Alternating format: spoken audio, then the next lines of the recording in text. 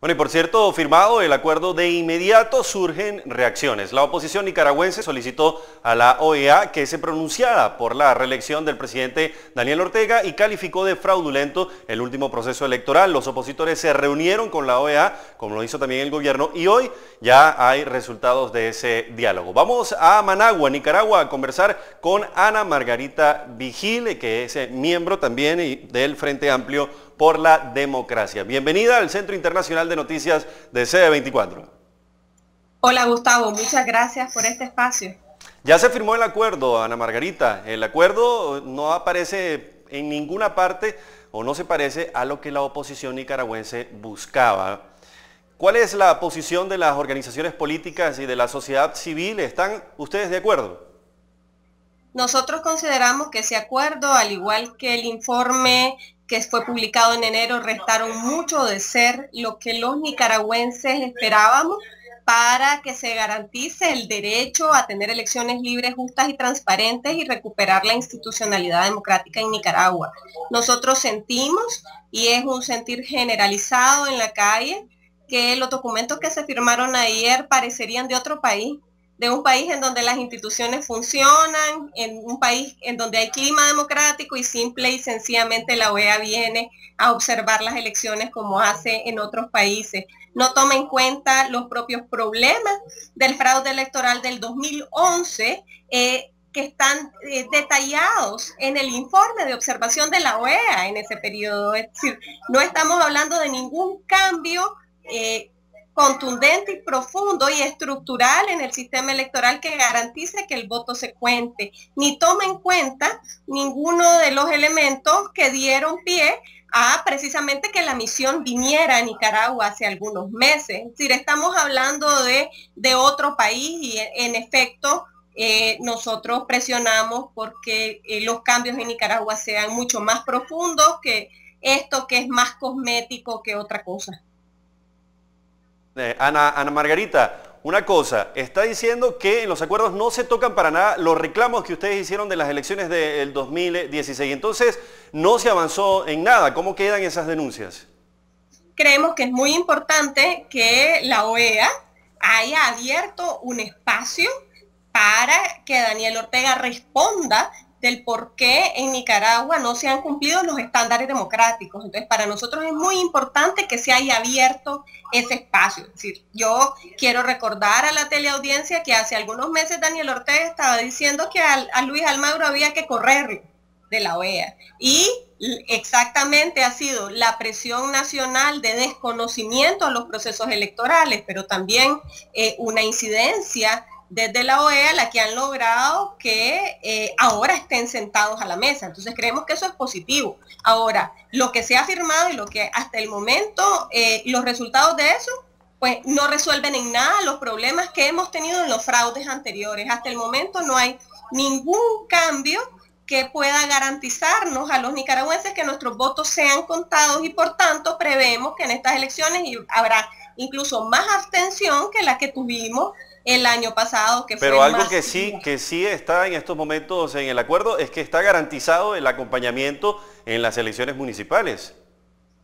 Bueno, sinceramente eso no resuelve del todo el problema. También tuvimos acompañamiento en el 2012, en el 2011 y hubo fraude electoral, tanto así que eh, la misión técnica de la OEA en el 2011 es clara sobre los cambios estructurales que hay que hacer en el sistema electoral nicaragüense. Y este acuerdo de ayer no contempla esos cambios. Estamos hablando de que los mismos que te robaron el voto son los que van a contar el voto. Estamos hablando de un sistema partidizado en donde quien cuenta los votos es un militante de un partido que además ya cometió fraude electoral y que no tenés ninguna garantía de que no lo vaya a cometer. Estás hablando de que la institución electoral está absolutamente viciada, que es, para nosotros es absolutamente eh, desacreditada para el pueblo nicaragüense. Entonces, pues cualquier cosa que se firme, lamentablemente en esas condiciones, sin los cambios estructurales, sin el cambio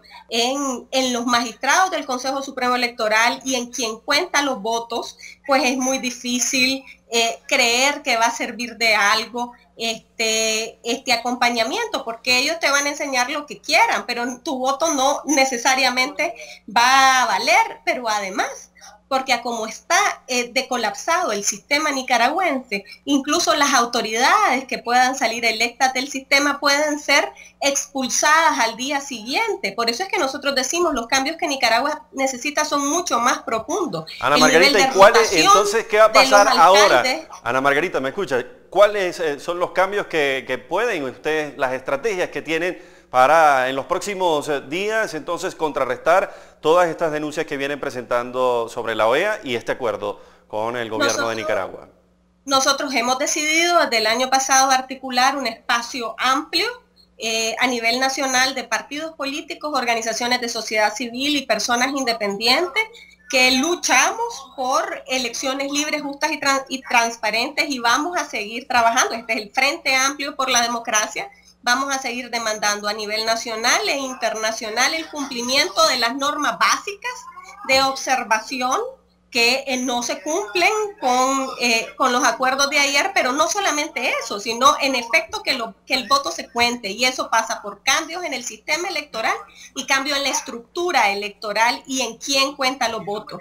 Nosotros obviamente vamos a eh, ser la voz del pueblo nicaragüense que si dice que estas elecciones no son elecciones porque el voto no se cuenta, pues vamos a seguirlas eh, eh, denunciando y va a pasar exactamente lo mismo que en noviembre pasado, que es una abstención masiva hasta que recuperemos nuestro derecho a tener elecciones libres, justas y transparentes. Que no, pues, eh, como te digo, nosotros esperamos un apoyo de la comunidad internacional en esto, no solamente la OEA, cualquier gobierno de la región puede aplicar la Carta Democrática Interamericana y esperamos ese apoyo y estamos trabajando de cara a una estrategia nacional y una internacional eh, para que los ojos se pongan en este quiebre brutal a la institucionalidad que vivimos los nicaragüenses.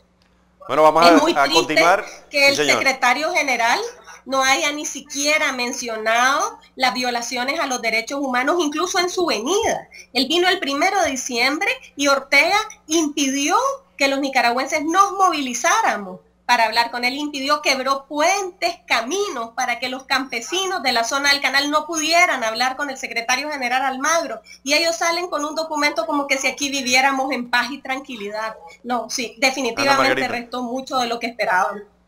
Vamos a estar bien pendientes de este caso en Nicaragua. Muchas gracias. Muchas gracias, Gustavo, por este espacio.